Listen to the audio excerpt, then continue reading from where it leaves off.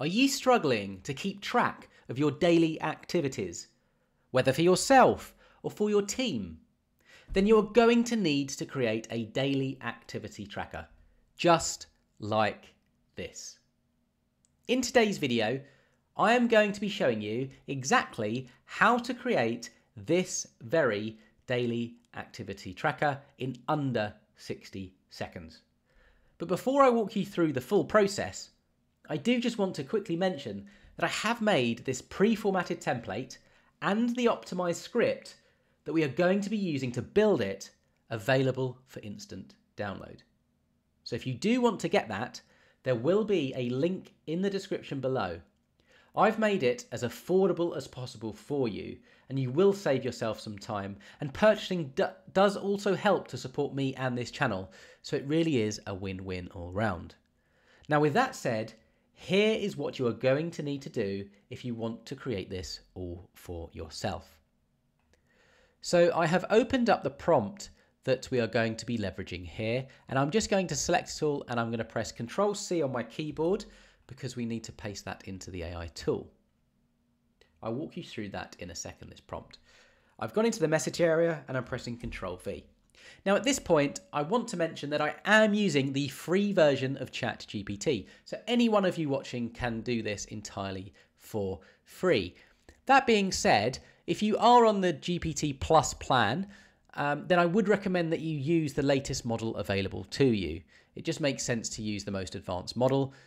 That being said, the free uh, GPT model absolutely suffices for what we need to do here. So let me walk you through the prompt. First, we need to prime the tool. So act as a project management professional with decades of experience in creating insightful project management templates. Now here we need to provide our ask. So create me a daily activity tracker template in tabular format, not as code. It should be well formatted and organized so that I can copy it directly into Microsoft Excel. that's really, really important for saving us time. I want it to have all the necessary columns, including, and in this particular order, colon, task number, task name, task description, start date, due date, status, then we've got some options for the status column here, which I put in brackets, not started, in progress, on hold, complete, no longer necessary, close brackets, priority, low, medium, high, dependencies, assigned to, notes, additional comments, and any other col columns you think would be useful to include. Now, at this point, if you want to refine the daily activity tracker to suit more bespoke needs, that's where you could go in and change some of these columns and also the ordering as well, whatever you need. The bottom one is very useful though because it gives us it gives you some insight into perhaps some columns you've overlooked or that may be useful. Now at the bottom of this prompt, I've said provide 10 example tasks which are generic and high level and that demonstrate how to populate the activity tracker. Make them so that they could apply to any project in any industry. Now this is good because it just gives us an idea as to some of the things that we're going to want to document. At this point, we're ready to go, so I'm just going to press send message, and we just need to wait for Chat GPT to do its thing, which isn't very long at all. So you'll notice it's being created in tabular format and we're currently at task five. So let's just wait for it to continue running. Now, what we get at the bottom here is a description of the columns and what we want to capture in each column. And it looks like what the prompt has done as well is it's added a couple of additional columns which we were missing. So estimated time and actual time. So if you wanted to, we could go back and edit this message and pretty, pretty much put these in in the list in the order we want them in, or we could leave them at the end. It's completely up to us. So now that that's done, what I want to do is select all of this table. So I'm left clicking on my mouse from the bottom right of the table. You can also do this the other way. You could go the top left to the bottom right, but I want to select all of the table. I'm pressing Control C on my keyboard and then I'm heading back into that Excel document. So I've opened up a fresh sheet here, it's completely blank. So at this point, we've got a couple of options. We can paste with the source formatting, but I actually like to match the destination formatting because I like to apply the formatting myself. So we're pressing that. Now at this point, I'm going to put all borders around. So we've got a table.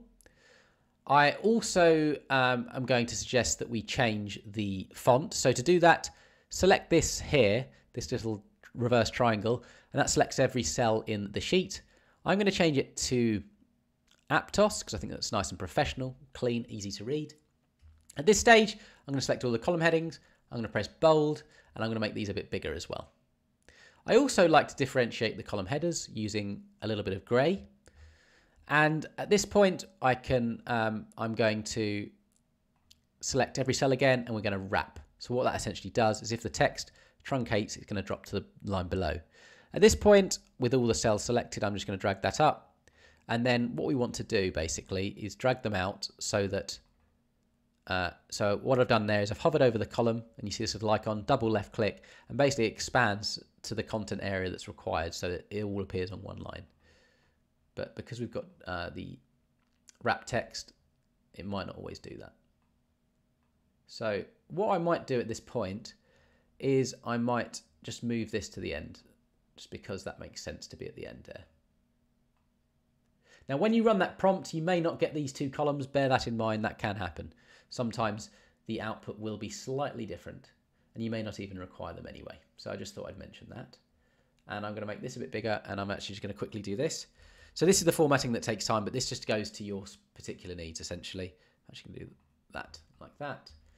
And that is pretty much the um, the daily activity tracker for you. The only other thing I'd recommend perhaps doing is giving this a title. So we can do something like insert insert. We can say daily activity tracker. And we can say for the individual, it could be, so my name is Jeremy. We could put for Jeremy for, or for that individual or for team alpha. You get the idea. Again, one other thing I should have mentioned, when it says assigned to, you could have your individual names here. If it's just yourself, if this is just your activity tracker, you may not even need this column, so you could delete this off entirely. I'm actually going to do that merge and center, make that bit grey, make that nice and big, and bold that out here. So we're going to do that. And then the other thing I would recommend that you do is just change some of the columns. So these are date columns. I'm going to right click, format cells. We're going to make those date columns like that. Now, what we can also do, and I realize this takes a little bit of extra time than the 60 seconds I promised, but it is useful. At the moment, this is just, you know, generic text entry. What I'm going to do is select that column. I'm to press data. I'm going to say uh, data validation, data validation. I'm going to check on the settings from allow. I'm going to drop that to list.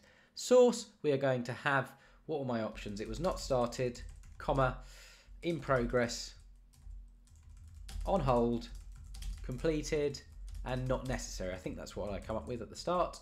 So we're to have that. Now you'll notice that the drop down is available in these cells here. We don't want that, so I'm selecting G1 to G4 data validation, data validation, make that any value. So now these are just any values, but anything underneath from row five downwards is the drop down. Need to do the same for priority. So data validation, data validation, list, low, medium, high, okay, and then remove it. So this is essentially why I'm making it available for instant download because this is where customization takes the time. But actually generating the activities tracker is as quick as it as it gets. But that's it. That's the daily activity tracker. Again, the last thing we can do, just take off the grid lines if you wanted it to be a bit more visual. But yeah, that's how you create it. Any questions, comments, feedback, drop it down below. If you have any issues or just want to buy it and support this channel, link in the description below. With all that said, best of luck, and I hope you have an excellent day.